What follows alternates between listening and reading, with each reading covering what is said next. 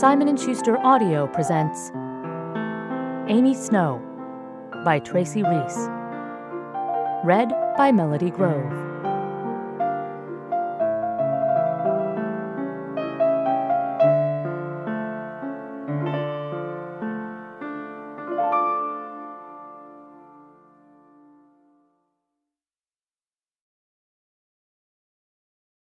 Prologue January 1831 Aurelia Vennaway held her breath as she tiptoed from the stuffy parlour and stole along the hallway. Her mother and aunts had paid her no attention for the past hour, but that did not mean she would be allowed to leave. Her mother thought that the weather would keep her inside, that for once she would sit quietly and decorously in the corner as a little girl should. She jammed her fur hat over fat drawing room ringlets and stuck her feet into sturdy boots. Shrugging on her blue cloak as swiftly as she would shrug off her destiny if she only could, she heaved open the door. It was the kind of day that glittered and beckoned like a foretaste of heaven. The snow no longer fell, but lay thick and silver white on the ground. The sun dazzled, and the sky was a rich celestial blue. On such a day as this, the whole world might change. Aurelia sank up to her knees, then squared her shoulders and considered her nonsense of skirts. Gathering them up in great bunches, she lurched like a staggering deer through the snow until her lungs flamed with its cut glass brilliance. Last week, she had not seen her mother for five days. The metallic smell of blood and the screams that came from the bedchamber were only a memory now, and her mother was back amongst the family once more, but harder than ever to please. Aurelia was not sure that she cared to try. The house was brittle and tense. Sunlight could find no way into the woods beyond the house. Snow laden branches of yew and wasted, straggle thin fingers of oak reached for Aurelia. She laid her hands on them, greeting them like old and comforting friends. Her ringlets had loosened into snakes. Screeching jays made the only sound. She swung herself onto a low branch to listen and dream of the time when she would leave Hatville Court and never come back. She nearly tumbled into the drifts when she heard an unfamiliar cry. It came in bursts, feeble yet grating, insisting she jump down and follow. She felt as though some otherworldly force were playing Catch Me If You Can with her. It came again goblin song, drawing her through the trees and into the sunlight. Finally, she stood on the breast of a hill. Before her, something blue and hairless wriggled in the snow. For a moment, the enchantment of the old woods clung to her, and she feared to touch the creature. But curiosity broke the spell, and she stepped closer.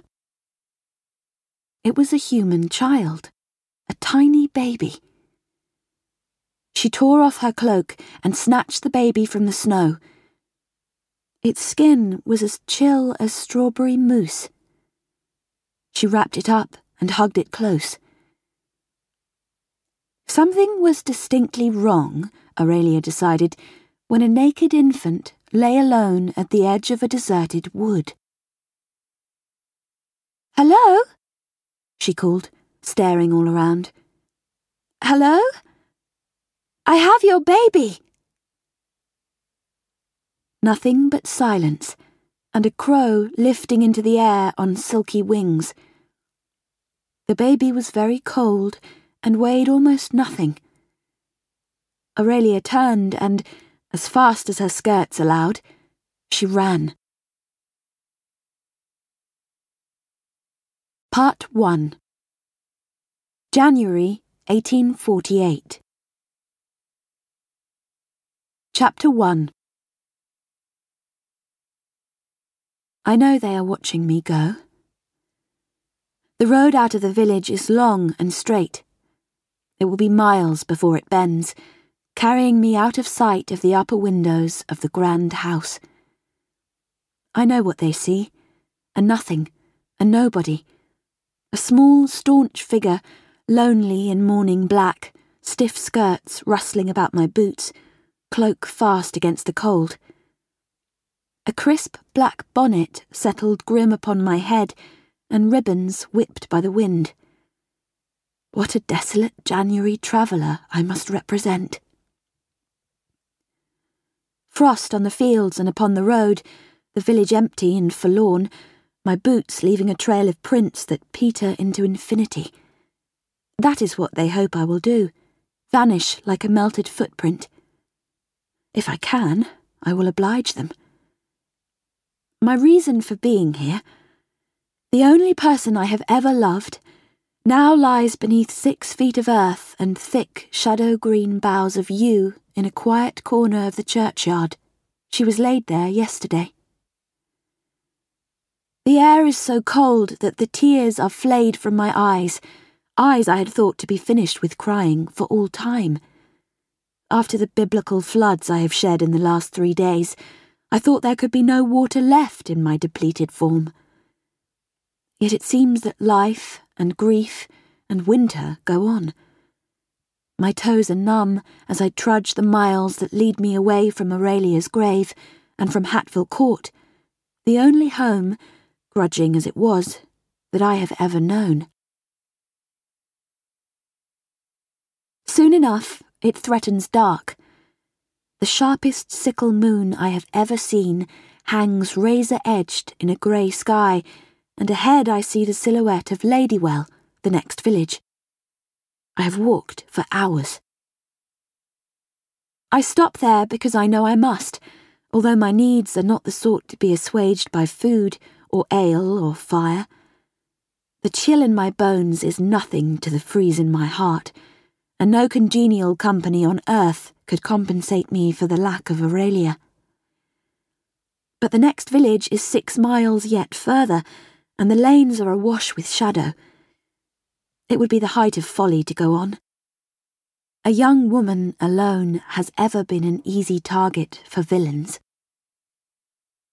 And although I have little faith that my life will ever again feel worthwhile, I still do not wish to throw it away. Aurelia may be gone, but she is not done with me yet.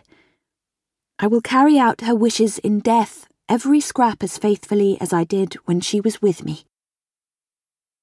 I enter the Rose and Crown.